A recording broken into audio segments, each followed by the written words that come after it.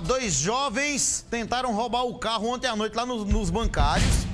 É, foram perseguidos lá no Parque do Sol, tá? Lá no Portal do Sol aconteceu uma.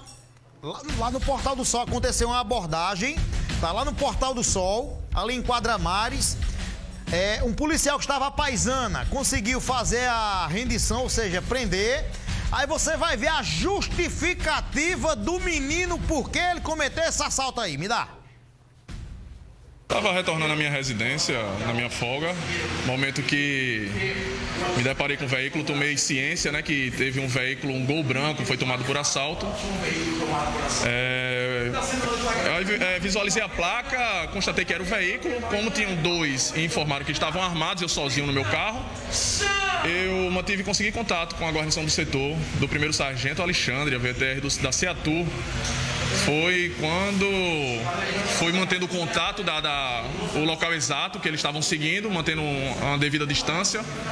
Conseguimos fazer o cerco. A VTR da Ceatu trancou eles à frente, né? Fechou a via e conseguimos realizar a abordagem, que foi pego com eles um revólver, né? uma arma de fogo, e os dois foram foi, foi realizada a prisão, conduzida aqui até a delegacia. Tomaram esse carro por assalto no alto plano.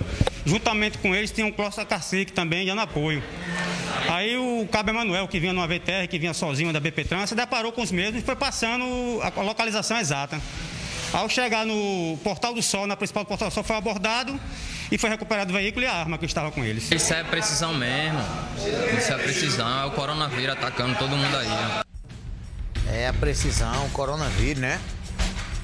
tomar vacina, o mundo se vacinar, vocês vão ver um mundo diferente quando o mundo vacinar, né? Por isso que a gente reza quando chega a vacina, graças a Deus, né? As coisas vão mudar. 12h32 agora, 12